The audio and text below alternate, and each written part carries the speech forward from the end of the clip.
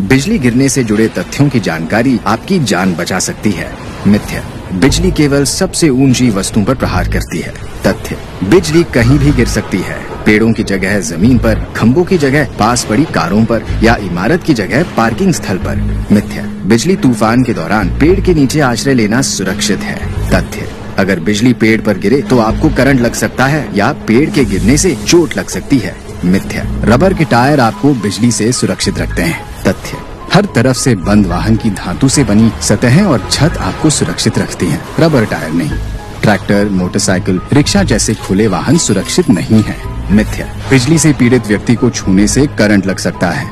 तथ्य। मानव शरीर बिजली संग्रह नहीं करता। प्राथमिक उपचार देने के लिए बिजली पीड़ित को छूना पूरी तरह से सुरक्षित है। तैयारी में ही समझदारी। एनडीएमए एवं आईआईपीएचजी द्वारा